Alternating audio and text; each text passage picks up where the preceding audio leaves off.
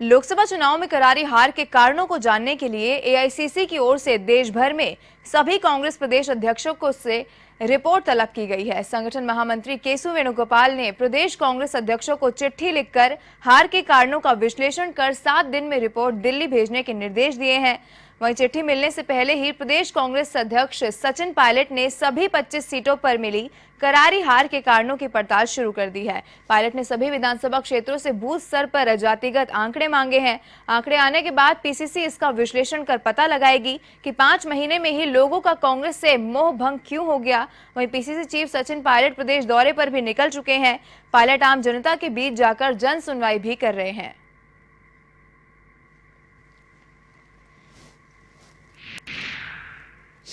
में कितनी वोट मिली, क्या कारण रहे तो बूथ लेवल तक हम लोग पचास हज़ार बूथ हैं, उसका हम लोग डेटा इकट्ठा कर रहे हैं, उसका फिर सर्वे करने के बाद किसी परिणाम में पहुँचेंगे। लेकिन देश भर में कांग्रेस पार्टी को उम्मीद से काफ़ी कम सीटें मिली हैं। चिंता का विषय निश्चित रूप से है और कांग्रेस अध्यक्ष ने बहुत बड़ी बात बोली है।